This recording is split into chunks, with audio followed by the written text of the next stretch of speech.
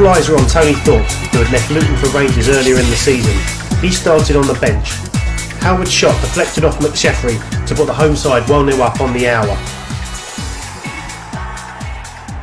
Tony Thorpe was then introduced, with Luton seemingly heading for victory, when in the last minute his flick fell to Paul Furlong.